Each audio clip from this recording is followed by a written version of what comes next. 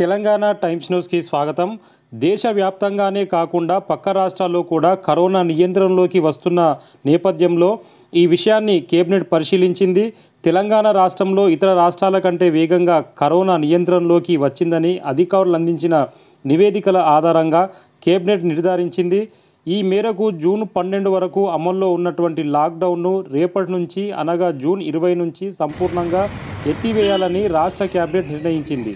కాగా అన్ని కేటగిరీల విద్యా సంస్థలను పూర్తి స్థాయి సన్నద్ధతతో జూలై ఒకటవ తేదీ నుంచి ప్రారంభించాలని కేబినెట్ విద్యాశాఖను ఆదేశించింది.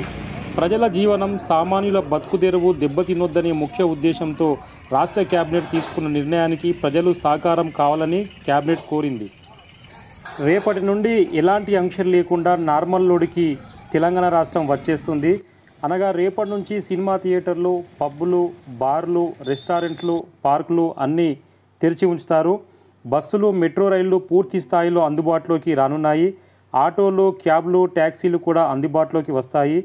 రవాణా రంగం పూర్తిగా అందుబాటులోకి వస్తుంది. పెళ్ళిళ్ళు అంత్యక్రియలకు ఎంతమందైనా హాజరు కావచ్చు. జూలై ఒకటి నుంచి వి- తెలంగాణ విద్యా సంస్థలు కాలేజీలు స్కూళ్ళు పూర్తి స్థాయిలో తెరుచుకుంటాయి. ఆన్లైన్లోనే కాకుండా నేరుగా పాఠశాలలు కళాశాలల్లో తరగతులు నిర్వహించనున్నారు. అయితే ఒక ముఖ్య గమనిక లాక్డౌన్ లేదని అన్నీ ఓపెన్ అవుతున్నాయని కరోనా లేదని మర్చిపోవద్దు. ప్రతి ఒక్కరూ తప్పకుండా మాస్క్ ధరించాలి భౌతిక దూరం పాటించాలి శానిటైజర్ను వాడాలి.